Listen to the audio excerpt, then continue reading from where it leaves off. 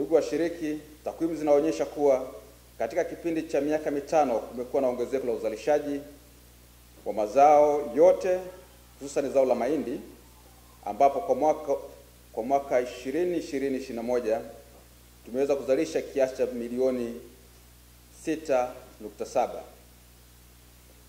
Ongezeko hili limeonge- limeongeza fursa za biashara ya mahindi na bidhaa zake katika soko la ndani na nje ya nchi. Pamoja na kuwepo na fursa hizo, biashara ya mahindi bado inakabiliwa na changamoto mbalimbali ikiwemo kuuza bidhaa bila kupanga madaraja na kutokidhi viwango vya ubora na usalama vya kikanda na vya kitaifa na kimataifa. Hivyo imesababisha mahindi kuuzwa kwa bei ndogo na wakati mwingine kukataliwa katika soko la kimataifa.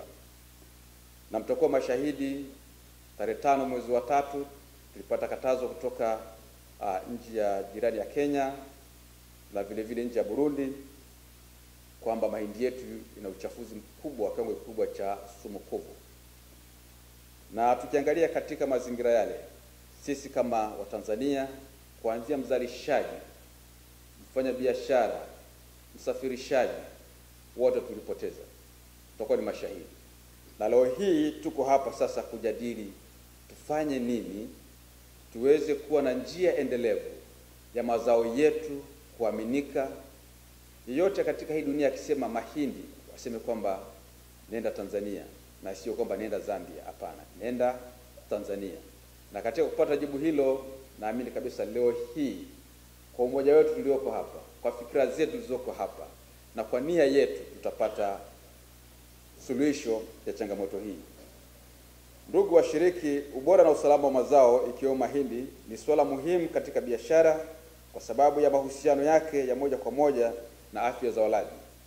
Zao la mahindi ni zao la kwanza kwa umuhimu nchini kama zao la chakula na biashara, na tukiangalia katika mizania ya chakula kwa nchi yetu ya Tanzania e, zao la mahindi huchukua asilimia 36 kati ya mazao tisa katika mizania hiyo. Kwa hiyo tunaweza tukaona umuhimu wa zao hili katika afya zetu mtu mmoja mmoja. Pia zao hili ni muhimu kibiashara kwenye ukanda wa Afrika Mashariki. Soko kuu la mahindi ya Tanzania ni nchi jirani ya Kenya, ambapo katika kipindi cha miaka mitano Tanzania hupeleka wastani wa tani 72,460 kila mwaka, ambapo ni takribani asilimia sabini ya mahindi yote yanayouzwa nje ya nchi kutoka Tanzania. Hata hivyo, soko la mahindi la Kenya bado ni kubwa, ambapo wanaingiza wastani wa tani laki sita kwa mwaka, na sisi wa Tanzania tunapeleka tunapeleka wastani wa tani sabini na mbili mia nne sitini. Bado fursa ni kubwa, na naamini kabisa tukikidhi viwango vya ubora vilivyokubaliwa na vile vile gharama ya uzalishaji ikiwa nafuu, ambapo tukilinganisha na mahindi kutoka nchi nyingine, kwa mfano Mexico, basi tutaweza kupata eh, kuchukua hili soko kwa asilimia mia moja. Tanzania inapeleka Kenya asilimia kumi na mbili tu ya kiasi wanachoagiza kutoka nje ya nchi. Kwa hiyo bado tuna eh, kiasi cha asilimia 88 ambacho kipo, na hiyo ndio fursa ambayo kama Watanzania ambao ni majirani tunaweza tukaitumia na tukunufaika kiuchumi. Ndugu washiriki, pamoja na mahitaji makubwa ya soko la mahindi, zao hili linakabiliwa na changamoto. Kwanza, changamoto ya kwanza ni tija. Tija ni ndogo sana kwa wakulima wetu. Vile vile tuna changamoto ya kutokuwa na mbegu ya aina moja. Unakuta kwamba katika gunia moja la mahindi unaweza kukuta mbegu hata tano, lakini ukichukua mahindi kutoka Zambia unaweza ukaiangalia ukaona karibu yote ni mbegu moja. Tukisema kwamba nauza mahindi, mbegu gani? Hatuwezi tukasema ni mbegu gani tunauza mahindi. Hiyo nayo ni changamoto. Vile vile tuna changamoto ambayo sasa hivi ndio imejitokeza kwa ukubwa na madhara yake ni makubwa, ambayo ni uchafuzi wa sumukuvu.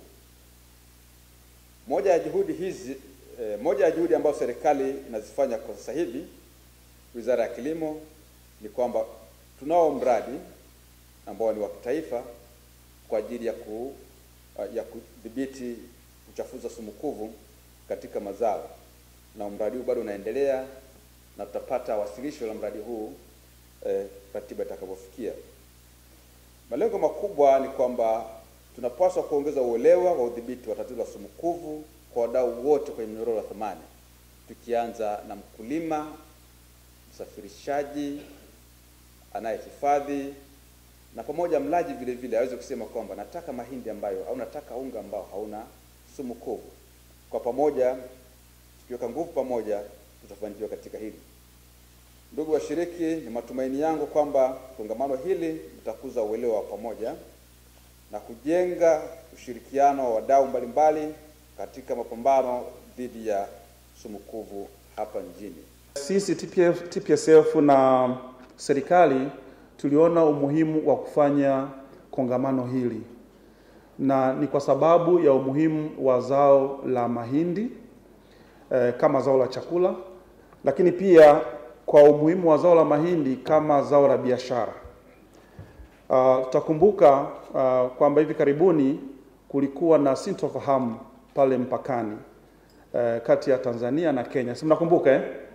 E, na sintofahamu hiyo ilikuwa inatokana na tatizo ambalo tuliongelea leo la sumukuvu aflatoxin, na tukasema pengine sio haki sisi wataalamu, sisi watu wa sekta binafsi eh, na ujuzi wetu ambao tunao na wadau ambao tunao na wataalamu ambao tunao, vyuo tunavyo, taasisi za kumshauri mkulima na mlaji tunazo.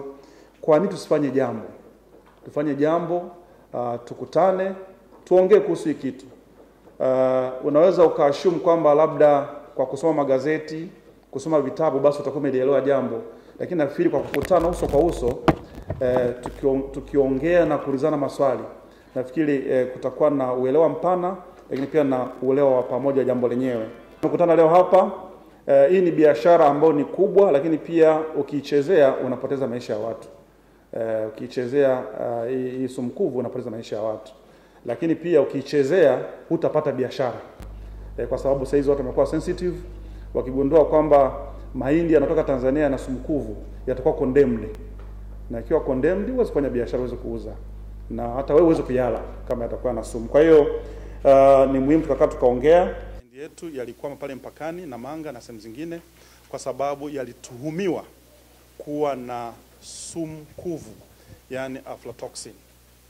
Tatizo hili limechukua kama wiki nzima hivi, pakawa na kelele nyingi sana na tukawa na mgongano wa kiserikali na serikali na wafanyabiashara walipata shida sana. Kwa hiyo sisi kama sekta binafsi tukasema tuna kazi ya kufanya. Mimi naitwa Geoffrey Kirenga, ni mkurugenzi mtendaji wa taasisi ya kuendeleza kilimo katika ukanda wa kusini mwa Tanzania. Kwa Kiingereza inajulikana kama the Southern Agricultural Growth Corridor of Tanzania au SAGCOT.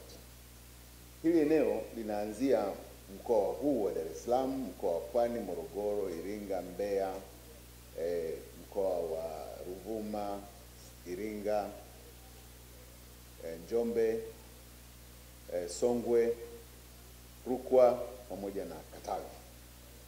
Hili eneo ni takriban one third au theluthi moja ya eneo la Tanzania, lakini eneo ambalo linazalisha takriban asilimia 65 ya chakula ambacho tunakula hapa Tanzania, lakini tunachokitumia vile vile kuwalisha majirani zetu, na ndio chakula ambacho tunakitumia kwa ajili ya biashara.